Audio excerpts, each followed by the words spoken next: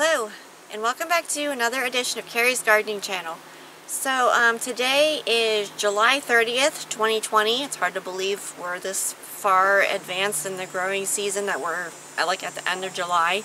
And uh, today what I want to talk to you about is, is there a difference between growing outside and growing in a controlled environment like in the greenhouse?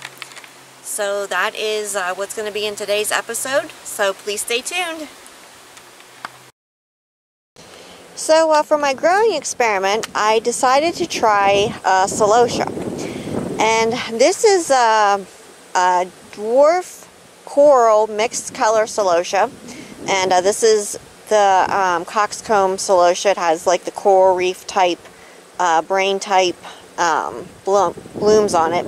I direct seeded everything in and celosia requires a hot temperature to grow and germinate and uh, do its best at.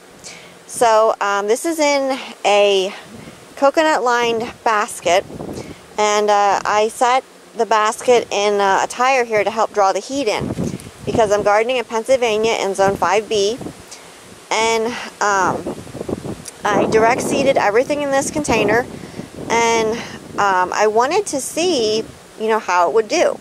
So it started germinating for me, and uh, the plants were growing uh, pretty slow. Um, they were pretty small, and um, they weren't really doing the best. So um, I decided to put some in the greenhouse. Now you can see the blooms here. They are just starting to bloom, and uh, I um, been watching this here to see, you know, how it's doing.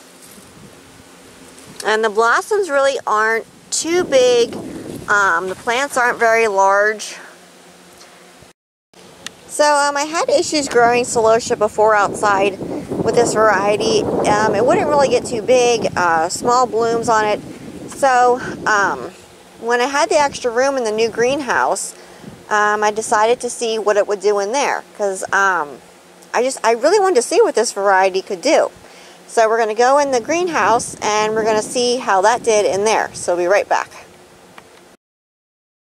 So this basket right here, right in the middle, is uh, my dwarf coral cockscomb mix. And you can see there is a huge, huge difference between growing in a controlled environment and growing outside in nature. You can even see up here. I have been growing this variety for many years now. And I will be 100% honest with you. I have never, ever seen this variety grow like this before. These were started way later than the ones outside. These actually started blooming before the ones even started blooming outside. And it's just amazing to me how much of a difference it is. Actually, the ones outside were um, growing that poorly and that slow that I had to actually start feeding them more. Because these, both of these are growing in the exact same type of a container. Uh, they're both in a coconut liner basket. They both have the exact same plant food.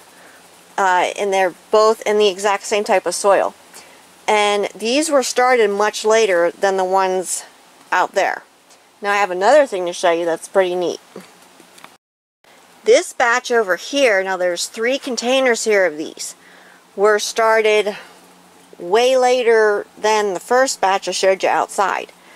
And you can see the difference with these things. And I'm very amazed and impressed. These are actually already blooming whereas those out there are just starting to bloom. And um, it's just, it, it is just amazing to me how much they're growing. Here's another one over here. This is another container of them here. And, I mean, it, it's phenomenal to me how much of a difference there is between these plants from the ones growing in the controlled environment versus the ones out in nature. Now, um, the ones out there, we outside, we did start feeding them a, a lot more because the blooms, they just weren't doing anything. They were just sitting there. And um, I had to get my, my crop out of them because I need these for a project. And uh, it's just, it's just amazing to me how well these are doing. Now, I've already started cutting some of these so uh, I can start using them. And I noticed that even on cucumbers. We can't grow cucumbers outside anymore, but we can grow them in the greenhouse, and they do amazing. And um, they give a whole lot. So um, it's just pretty interesting the difference between growing in controlled versus outside in nature. And you can see all these celosias here. This one here, I just, this one here I cut down. But I have more celosias growing over here. And um, the rest of my experiment that I want to see is I want to see if I can get the really large heads with um, the celosias growing in the greenhouse. I've already seen the difference um, with the dwarf coral mix how the heads got so much larger in here than they did outside. And uh, we had a really weird growing year this year where it's like stuff really didn't want to grow or get like the nice large heads to it. And uh, nothing, how it was being taken care of, changed. So um, I'm excited to see what these here do. Now these were actually started after the dwarf coral celosias that I had just shown you.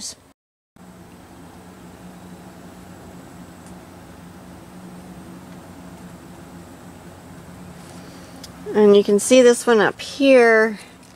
Oops, there's a wasp there. I don't want to get in that. This one here is getting ready to bloom soon.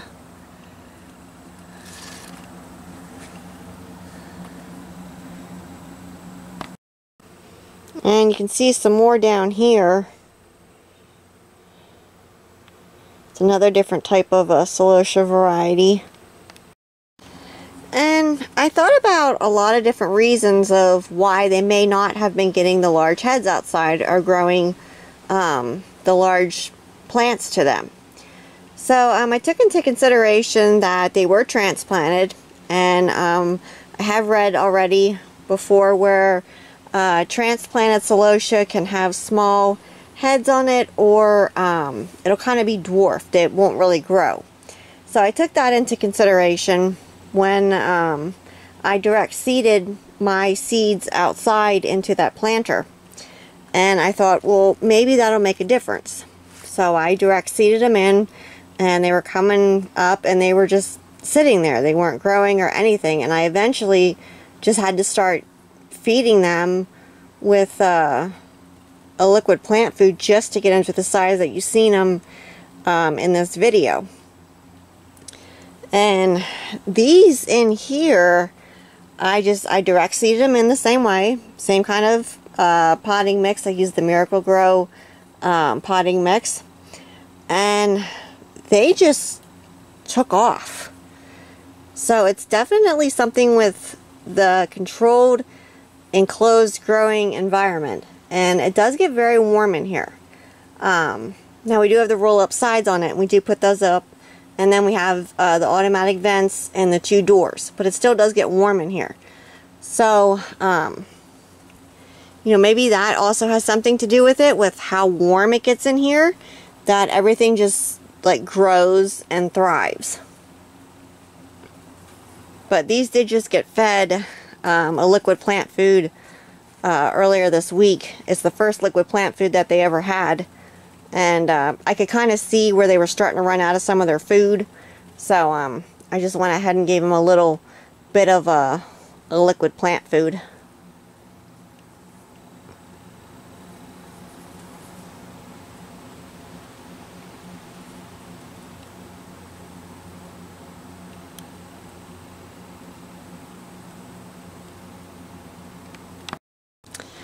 And uh, this one here is the uh, Fresh Look Red Celosia.